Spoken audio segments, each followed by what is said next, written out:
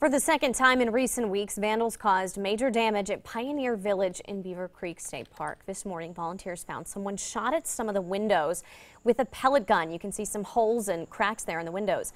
Dan Lyon, one of the volunteers, says the group is looking to spend $40,000 on a video surveillance system. That system will take away money from other projects the group wanted to complete. But catching the vandals will be worth it. The ODNR is looking into it heavily right now.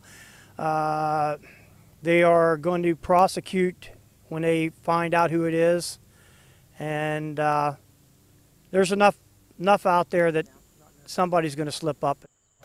He says the village will be open this weekend for the Civil War reenactment and festivals.